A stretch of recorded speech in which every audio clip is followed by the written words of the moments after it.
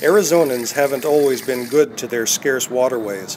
In fact, until recently, they dumped trash along the Salt River within sight of downtown Phoenix.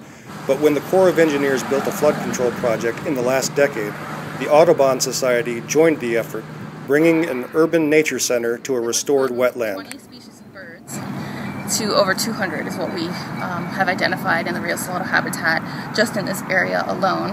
We have muskrats, beavers, and javelina, jackrabbits, cottontail.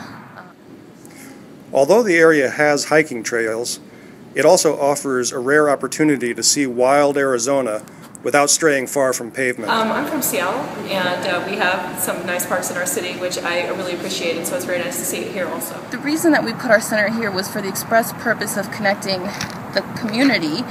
So we're right off of Central Avenue and the river, so we're right in the heart of the inner city of downtown and South Phoenix. So really bringing the community together to connect with nature. And so we do that here primarily through hands-on environmental science education programs and stewardship opportunities in the habitat.